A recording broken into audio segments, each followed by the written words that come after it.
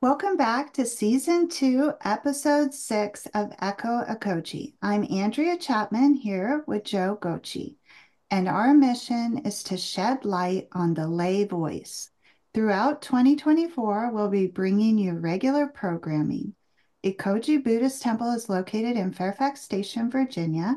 Join us for our in person and streaming Sunday services at 11 a.m. Eastern or 8 a.m. Pacific and Dharma Breeze sessions led by Reverend Kurt Rye on Wednesdays, 7 p.m. Eastern or 4 p.m. Pacific via Zoom. Ekoji also offers seminars, book and movie discussions, meditation sessions, and don't miss our annual Obon Summer Festival, which will be held on Saturday, July 13th from 5 p.m. to 9 p.m. Visit ekoji.org for more details. Joe, what more can you share about Ekoji? Thank you, Andrea.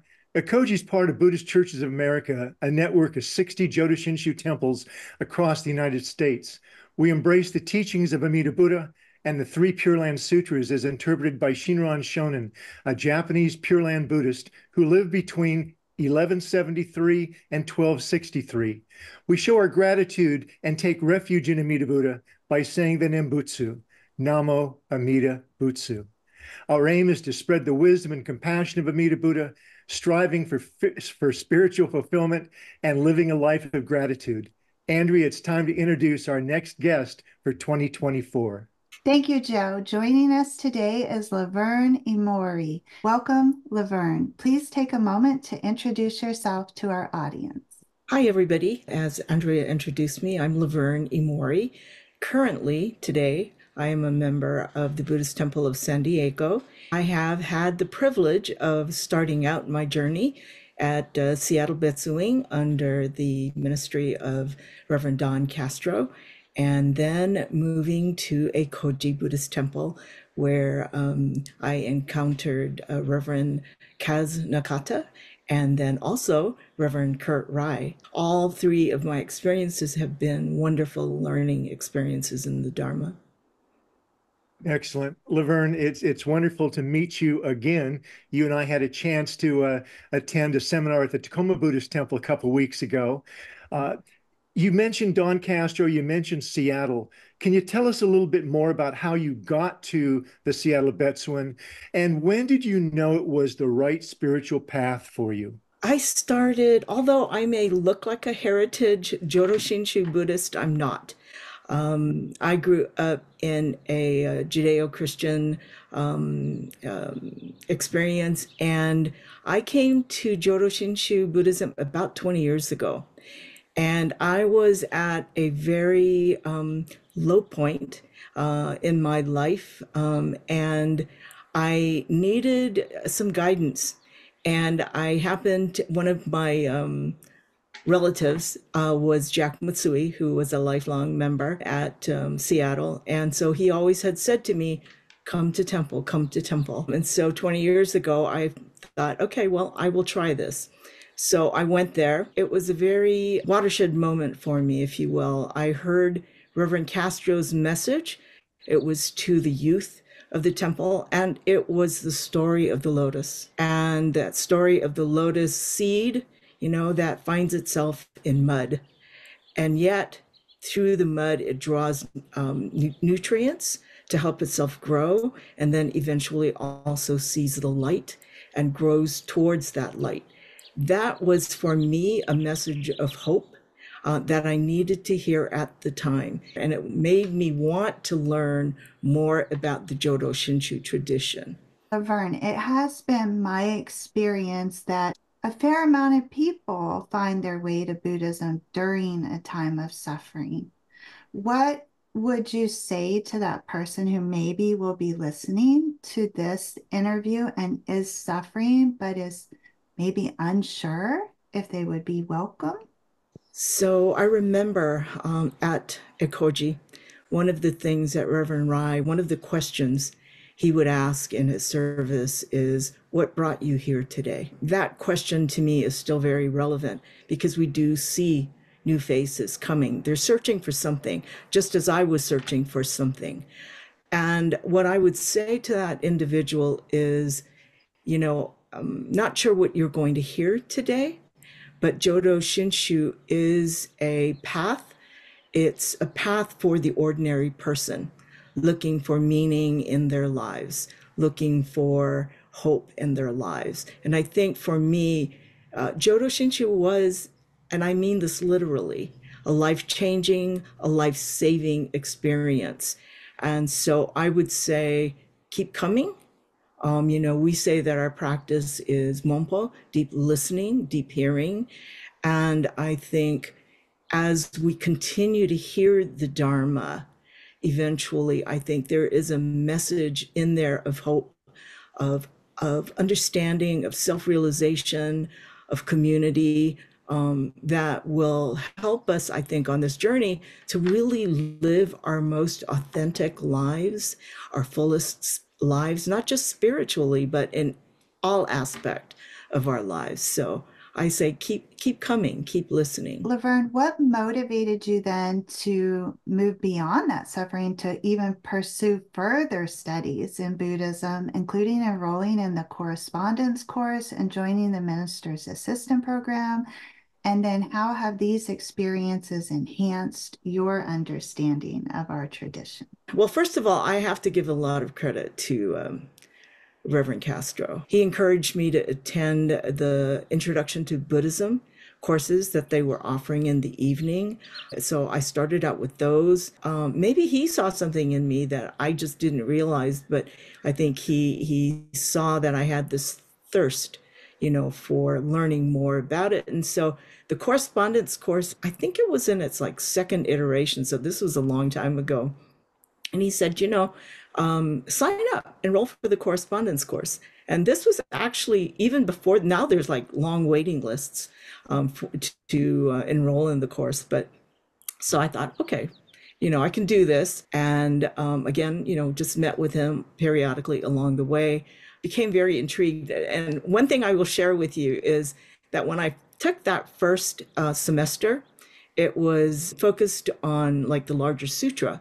And so, you know, the stories in the larger sutra. And my first reaction was, wow, do people really believe, you know, literally what they're reading. I mean, a lot of it is very um, fantastical, mythological, right? I tend to be a very literal person. So that was my first question. I thought, okay, I, I don't know if this is going to be a good fit for me.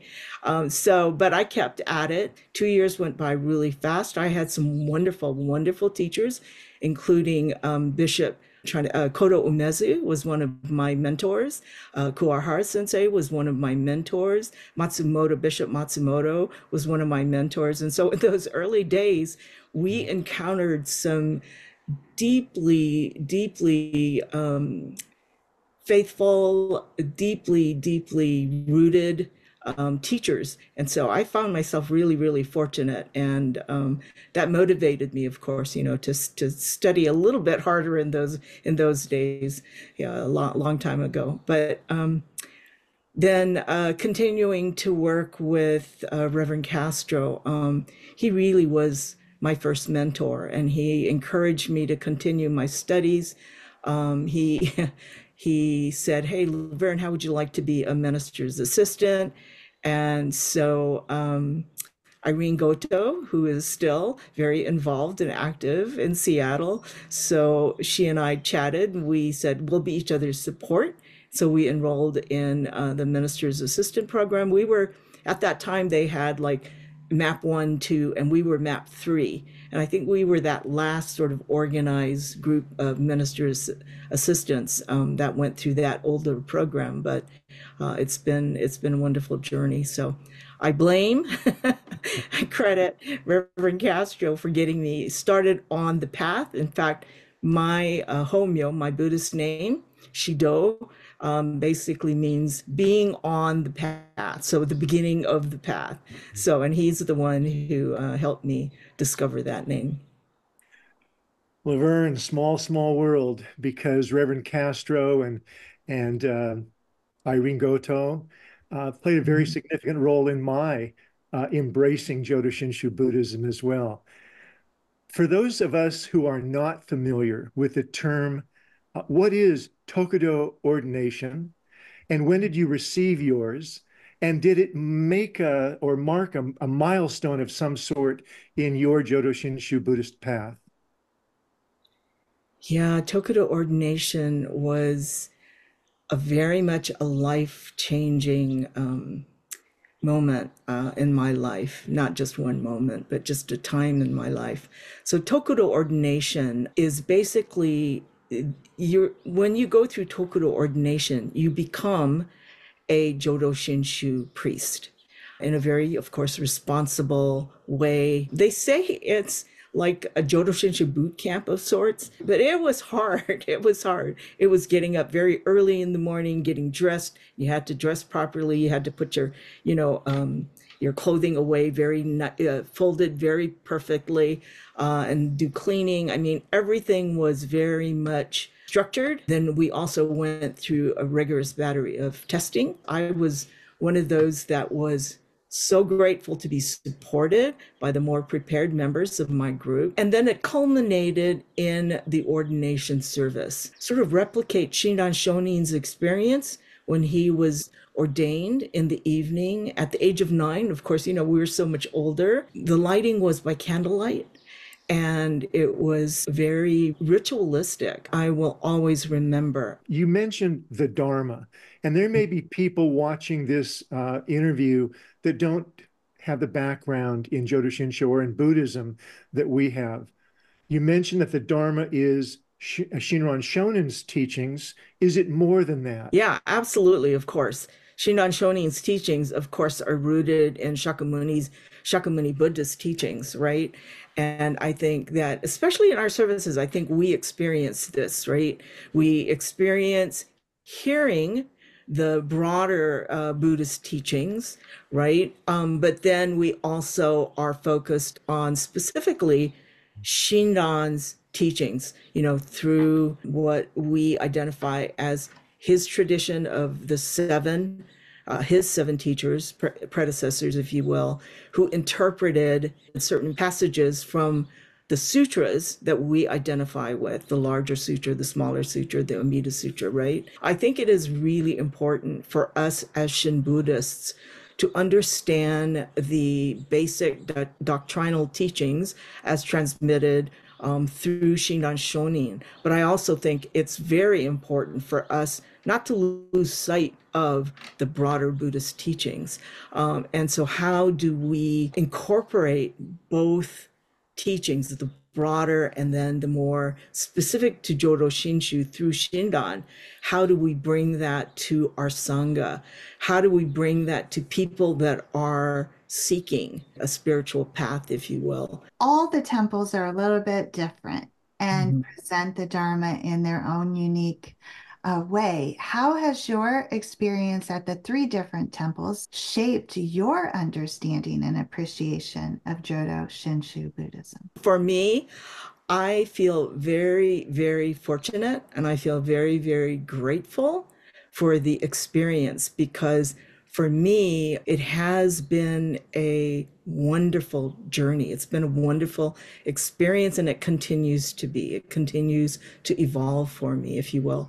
So in Seattle, again, that was the start of my journey. Uh, like I said, I was not born into the Jodo Shinshu tradition. I had no idea who Shinran Shonin was. I have n- I had never heard of Jodo Shinshu um, Buddhism. I think for me, my Seattle phase, if you will, was one of really trying to learn, trying to understand, trying to really figure out how Buddhism, how Jodo Shinshu Buddhism specifically fit into my own experience, into my own life.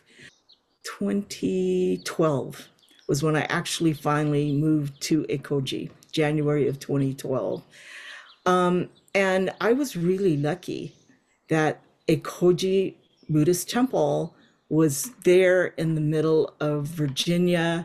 Nakata sensei was there for just about six months and then he moved away.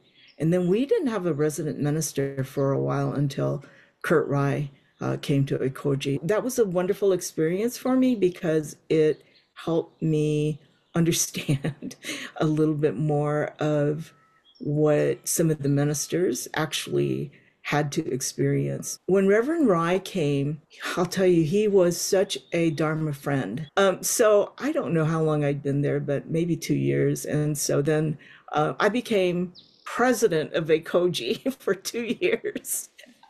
and I will say that was one of the most difficult experiences for me. It was a time where we were really having to look inward and say, can we really continue Ekoji? So we put that question to the Sangha. And it was the year that we took on the EBL conference, of all things. And it was the year that I was preparing for Tokudo. So I, I will say that for 2014, especially, was the year that I had to ask myself, why am I doing all this? I was at a point, truthfully, where I was ready to step away from it all. Uh, there was some tremendous conflict uh, and some disagreements within the Sangha, as there are in all Sanghas everywhere. Not everybody agrees. You know, we might all have this co- a common purpose, but we have different ways of approaching it. So I really questioned whether it was maybe time for me to step away. This wasn't working. It forced me to ask myself, why am I doing all this? Why? And it was the realization it was because uh, Jodo Shinshu was a gift. Encountering Jodo Shinshu when I did was a gift. Uh, it truly was a life life changer for me, lifesaver for me. And so for me, I think once I realized that, once I saw the gift of everything that I had experienced thus far, it was my point of recommitment if you will. And so it made my Tokudo experience, I think, even that much more meaningful. So um, that's that's the Ekoji experience. Within the Jodo Shinshu tradition, we refer to the three treasures the Buddha, the Dharma, and the Sangha. Could you discuss the importance of Sangha and how your perception of Sangha has evolved over time and why you refer to Sangha as your mirror? so at Ekoji, Sangha was definitely my mirror. It was in the most difficult times that it became a mirror for me.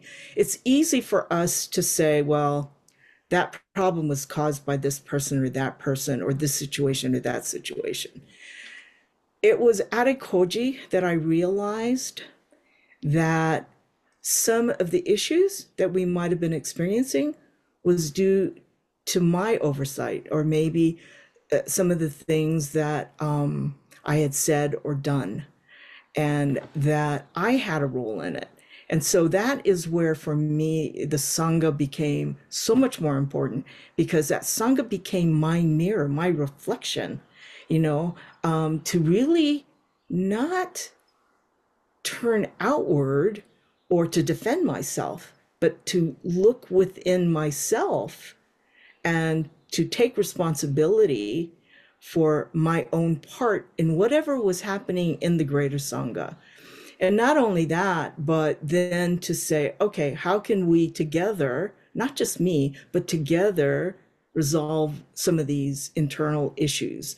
Moving to uh, San Diego from Ekoji, it's a much more traditional temple. It has the some of the traditional support groups, the BWA, for example, Junior YBA, and, and I see, you know, I see things happening within uh, the smaller groups and then within the larger sangha. As I'm watching and I'm listening to some of the internal happenings, I was I also realized that a lot of what is happening within the sangha is also happening within me. Like my thoughts my judgments if you will. I tend i can be a very judgmental person and quick to judgment. And when i see that happening in somebody else i'm it's easy to say well that person's being judgmental right? But then i have to say oh well okay well then that's me too because i have an opinion i have a judgment. So the sangha is such an invaluable resource to our own inner self reflection journey. And I think which is so important in Jodo Shinshu. Laverne, when you and I met in Tacoma, we talked about end of life care for our parents. How did that experience um, deepen your understanding of gratitude and its significance in the Jodo Shinshu tradition? I was very fortunate. Both my parents died at home. Dad passed away back in 1991, so it's it's been a few years. Um, we took care of him at home. And it was very difficult because we had to take care of all of his needs. We didn't have home hospice, and it was humbling. I think I think it was difficult for my dad to accept our help. What he taught me was gratitude because he had lost his ability to talk. And so I remember um, having to brush his teeth. And, you know, that's very, that's a very personal experience. But saying to him, hey, dad, you know, I know this is really hard for you, but you took care of us when we were born and came into this world. And you did for us all of the things that we're now having to do for you. And we're doing it out of gratitude. Yes. So that was very humbling for me. And then my mom passed away in 2021 at the ripe old age of 101. My mother and I had a very difficult relationship. I have to say, my mother was my bodhisattva. I have many lessons learned, life lessons learned from my mom, and I am so grateful. Even today, as I'm aging, I find things that are reminiscent of my mother as she was aging you know finding myself being less steady you know like when i walk i was in japan last year and walking on those gravel paths i felt less balanced less secure. And i was reminded you know of my mother as she became uh, weaker and less able to to support herself walking um, i want to share a story about my mom in that you know we have this chanting group so this is my T-shirt here. I'll just we have we have a chanting group, and um, my mother died on a Saturday. Uh, we are we were on Zoom and at when we started this chanting group Saturday at one o'clock. My mother died at 1.30 during the middle of chanting. So the last thing she heard was the Shoshinge, which we as Jodo Shinshu Buddhists hope that we will hear the Shoshinge, right? They say that hearing is one of the last things to go.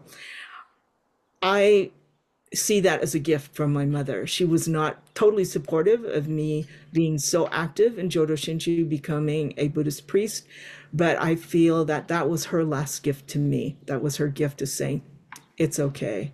You know, thank you. So, um, yeah. So that that was a, a lesson and a gift from her as she as she died. Thank you.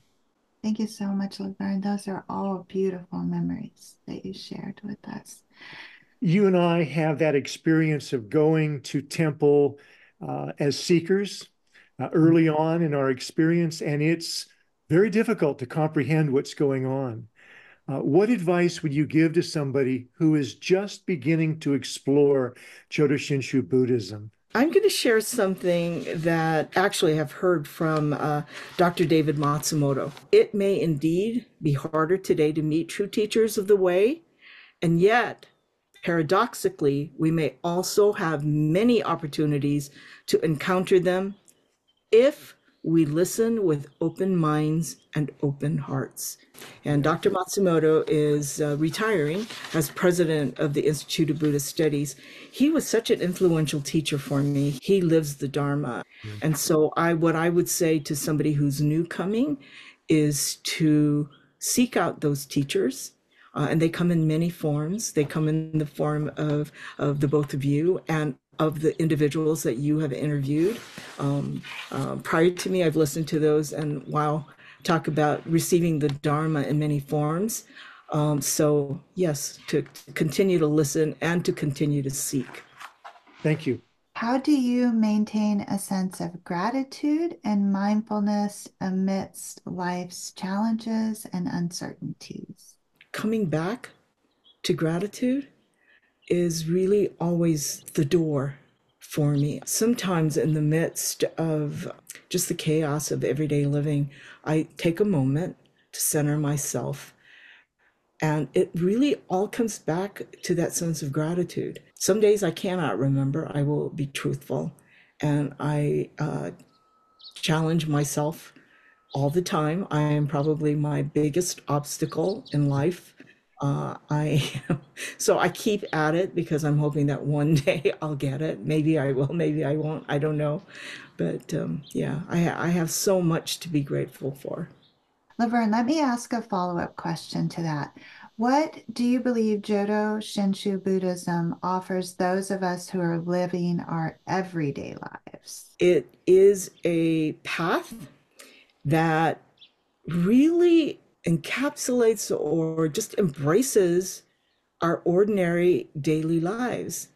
I think that's was uh, Shinran Shonin's quest, right? To share the Dharma with everyday, ordinary people. And so I think that that is our gift from Shinran, um, that he introduced, if you will, Jodo Shinshu Buddhism for those of us that couldn't go to Mount Hiei, you know, and practice from morning until night how to become enlightened. You know, he said, hey, uh, there is a path for us to achieve uh, spiritual awakening, just living our everyday lives. The practice of Jodo Shinshu Buddhism is deep, deep listening to the messages, to the teachings, and then as a result, the deep, deep gratitude that comes out of having encountered those teachings. You know it's it's what's encapsulated in the three treasures right? Difficult is it to hear the buddha dharma but wow you know we've encountered it aren't we lucky aren't we the lucky ones um, and so it's the joy i think that comes out of encountering all of that we're down to our last two questions, and this has been just great fun. You and I recently attended a seminar. Uh, I mentioned this earlier in Tacoma. Uh, the speaker was Reverend Dr. Takashi Miyaji, and his talk was entitled The Joy of the Nembutsu Way of Life. And you just mentioned joy. Based on your personal experience as Jodo Shinshu Buddhist, where does the joy come from? it's funny that you bring this up because just yesterday we had a conversation about the joy of Jodo Shinshu Buddhism. And Shinran Shonin, you know, in his Kyogo Shinsho, he talks about that. You know, he says, How joyous am I having encountered, you know, all these teachings, all this, all this wisdom. I am so joyous that I was able to, in the last 20 years of my life, right, so far, uh, have encountered that. So, Laverne, we always end our interviews with the same question What does Ekoji mean to you? When I walk through the doors, I have a sense of Ekoji being, you know, the uh, the gift of light, but it also means to me gift of having encountered so many fellow travelers on that path. So truly, Ekoji is a gift to me in so, so many respects. So I am very grateful. Thank you for continuing Ekoji. If you enjoyed this episode, please give it a thumbs up and subscribe to our YouTube channel. You can also connect with us on Facebook and Instagram. For additional resources, visit ekoji.org BuddhistChurchesOfAmerica.org, and Buddhist Temples of Canada at bcc.ca. Whether you're a dedicated scholar, a curious layperson, or simply interested in Buddhism's growing presence in North America, you'll discover a diverse array of materials from Buddhist texts, translations to engaging comic books for children at bdkamerica.org here at Ekoji, our mission is to foster global unity within the Sangha through our in person gatherings and streaming services. A special thank you to Laverne for sharing her experiences and insights. I'm Andrea Chapman, joined by Joe Gochi, and we sincerely appreciate your ongoing support and encouragement. Namo Amida Butsu.